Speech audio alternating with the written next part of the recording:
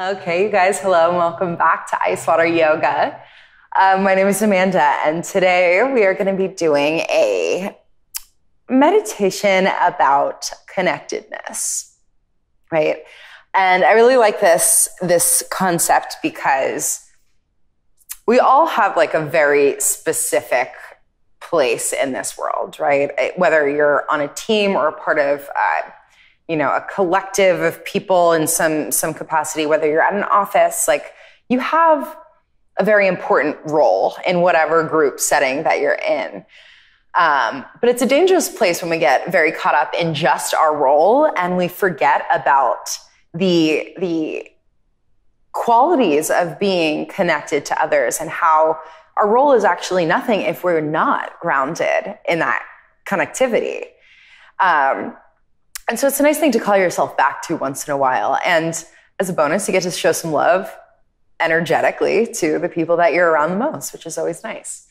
Uh, you want to send some more love out there, right? So let's get started. I'm going to stay seated. I just did a laying down meditation and I'm not going to lie, I almost fell asleep. So I'm going to keep myself elevated.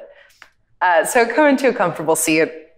I cross my shins and then as you allow the eyes to close, choose what you want to do with your hands. So, palms facing down is typically symbolic of grounding, right? When you need to feel very solid in your space. So, for this meditation, actually, I suggest palms facing up, which is symbolic of receiving energy. Right? Sometimes you see the little Buddhas with their hands out like this. And I think it's really important not only to give out energy in the context of a team or a group, but it's also really important to be open to receiving that, that support. It's a mutual sort of exchange. So palms up to help illustrate that in the body. Let's start with a deep, deep breath in together. So as you fill the belly, fill the chest, get really expansive and pause at the top of the breath. Maybe you grab a little bit more air, get super full. Hold here for three, two, one. Exhale, let it go. We do that two more times. Let's take another deep breath in and up, a little longer little more expansive than last time. Hold at the top. Feel the lungs, the rib cage expand. Keep holding that breath in. And as you exhale, open mouth, soften the body. Good. One last breath. Big, big, big, big, big inhale in and up, watching in your mind's eye the breath travel past the crown of your head. That's how much air you're breathing in. Hold here. Exhale, go. Good. And now with the lips sealed, just begin this very soft, melodic breath in and out through the nose. But not a ton of, of effort, right? Not a ton of doing.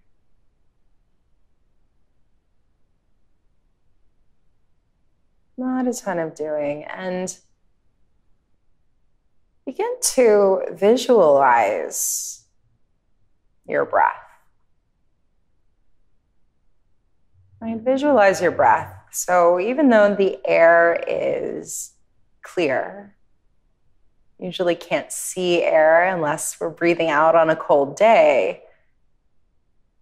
Can you imagine that you can see air flowing in your body into the lungs.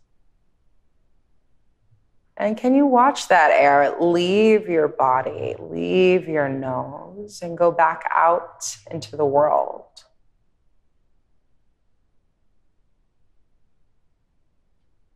Just watching your own breath come from this very shared space filter through you and then go back out into that same shared space. And so, even something as simple as the breath is a community affair.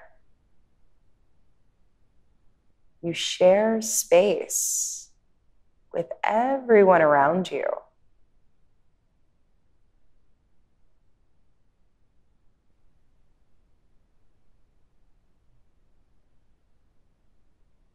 And so I always like the visualization of a tapestry or a blanket. Right? Think about something ornate, maybe even a carpet. And so you look at this, this tapestry, right? And you see this really brilliant design. So many different parts and pieces to it, so many colors and elements in the way that it might be woven together. And so, as a unit, it is this one beautiful piece of art, really. But it wouldn't be that. You know, not even just a tapestry, any piece of art could not be what it is without one of those little stitches, without one of the colors. Right? It is necessary for all elements to be combined in that very specific way to look the way that it does. You think about the ocean a home to enormous animals. Whales, sharks, but also home to the tiniest plankton, the tiniest cellular beings that have such a profound effect on the makeup of the ocean.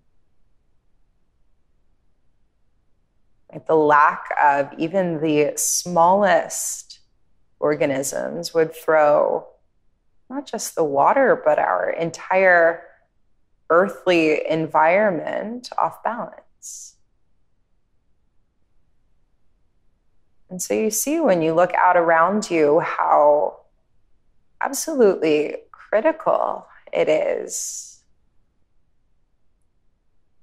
for all elements that make up a thing, whether it's a tapestry, an ocean, a team, all elements are of equal importance. Though they may look different or have different functions, different specialties,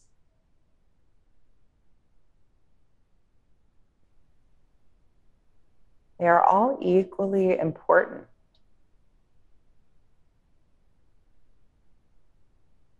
So, in the context of your life, where do you fit in? As you see your unique gifts, your unique talents, can you also see how they are so deeply interconnected to those around you? And that those around you have that same mutual feeling. So you become stronger, better, more capable when you're supported by everyone in your community. And with that being true, it's critical that you also offer that support.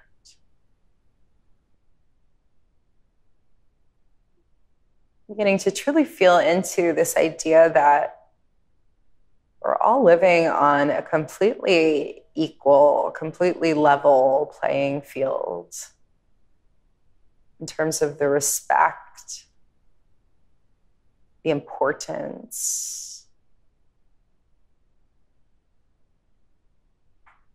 the things that we deserve, There is no one better or less than. And so, if that is true, if we are all equally deserving, then we are all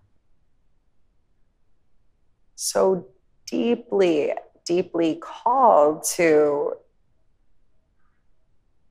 accept, to embrace a sense of community, to truly dive into appreciation for connectedness.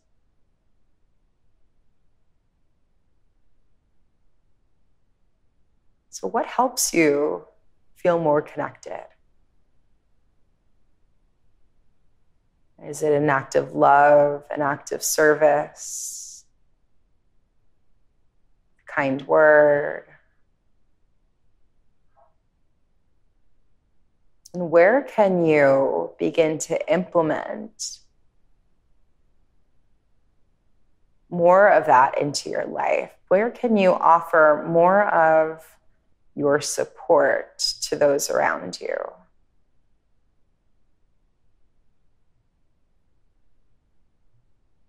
And will you welcome in that support on the other end?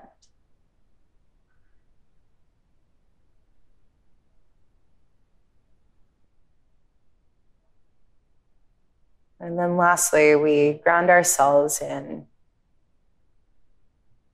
it's really deep sensation of gratitude. And gratitude that we have a very important place in our communities. Gratitude that we are surrounded by people who appreciate, support, love, respect us. Gratitude that we have the ability to give out that same energy. To give it out so freely, right? It never ever runs out.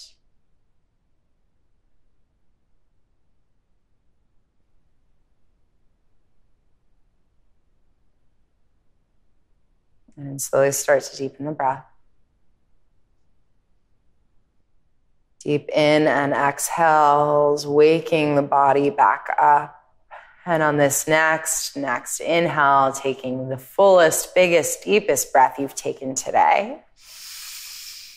Hold at the top. Now, when you hold, make fists out of your hands, squeeze your face, shrug your shoulders up to your ears, make everything nice and tight. Keep holding for three, two, one. Soften everything. Allow the eyes to open.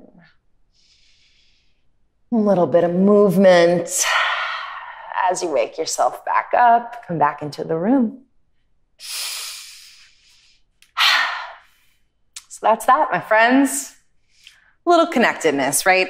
Just setting yourself a reminder that not only are you important and you deserve a seat at the table, but everyone else around you does too, right? So, like, I, I think I said it, I think I said level playing field, but that, that's all it is, right? Level playing field, mutual respect, mutual love, mutual support.